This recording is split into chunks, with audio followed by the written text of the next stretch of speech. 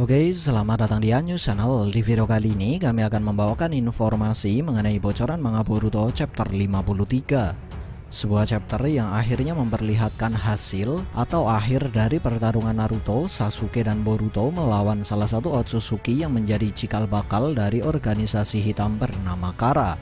Ya, pertarungan melawan Otsutsuki Isiki saat ini sudah berakhir. Namun, sebuah masalah kembali muncul sesaat setelah Isiki berhasil dikalahkan.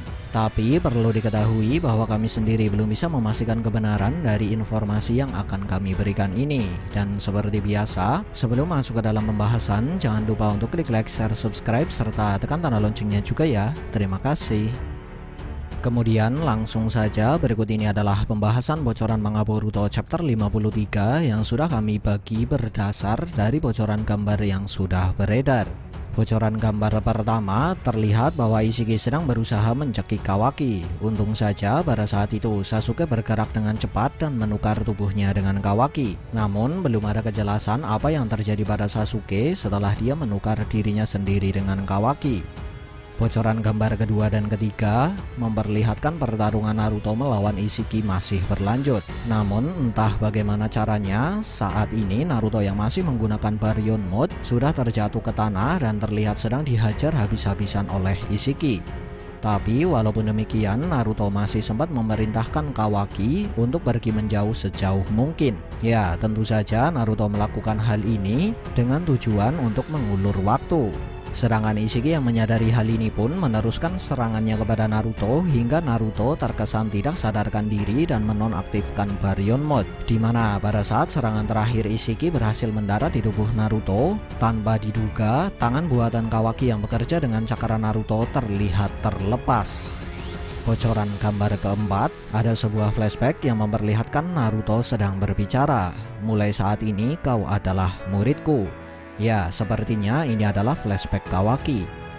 Bocoran gambar kelima, Kawaki terlihat berdiri sambil memegang tangan buatan yang terlepas. Dan pada saat itu, Kawaki sempat melihat ke arah Naruto dan Sasuke yang sudah tergeletak tak berdaya. Dan dari gambaran yang diberikan ini, Kawaki seolah ingin menyerahkan dirinya kepada Ishiki agar Naruto dan Sasuke bisa selamat. Bocoran gambar ke-6 melihat Kawaki yang terkesan ingin menyerahkan diri, Isiki pun langsung pergi ke arah Kawaki dan memeluk tubuh Kawaki. Dan pada saat itu Isiki sempat berkata, Sebenarnya apa yang ingin kau lakukan? Apa kau pikir dirimu adalah ninja? Lalu Kawaki menjawab, aku sudah menjadi murid Nana Daime. Dan dia mengatakan bahwa aku sudah menjadi murid yang baik. Mendengar jawaban Kawaki, Isiki kembali berkata, Kau tidak akan menjadi seorang ninja. Kau tidak akan bisa menjadi apa pun. Kau hanyalah seorang vessel atau sebuah wadah yang akan kehilangan eksistensinya. Bocoran gambar ketujuh terlihat bahwa Ishiki berhasil mentransfer karma ke tubuh Kawaki yang berada di depannya hingga membuat segel karma terlihat tergambar di tubuh Kawaki dan Ishiki terlihat tertawa lepas. Lalu dia sempat berkata, "Ini adalah kenyataan." Bocoran gambar ke-8, ekspresi Ishiki yang dipenuhi dengan kegembiraan kini berubah menjadi ekspresi marah karena dia melihat bahwa Kawaki ternyata sudah menggunakan Bunshin untuk mengelabui Ishiki. Di mana pada adegan ini Kawaki sempat berkata, "Berapa detik lagi kau bisa bertahan di dunia ini, Tuan Otsutsuki?"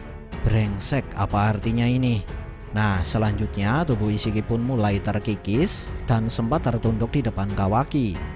Ya, dengan adegan ini bisa kita pastikan bahwa kehidupan dari salah satu Otsutsuki yang dijuluki sebagai dewa sudah resmi berakhir.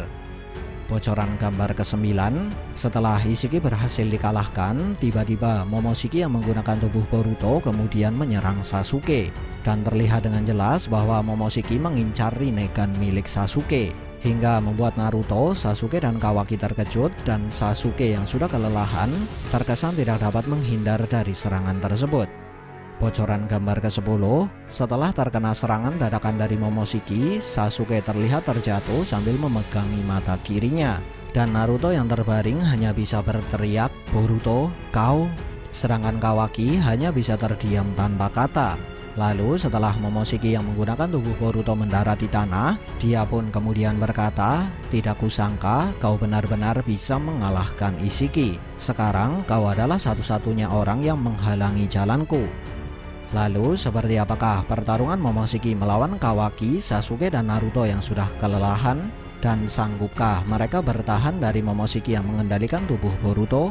Atau Momoshiki berhasil mencapai tujuannya hingga membuat Boruto mengambil alih tubuhnya dengan paksa dan menggores mata kanannya?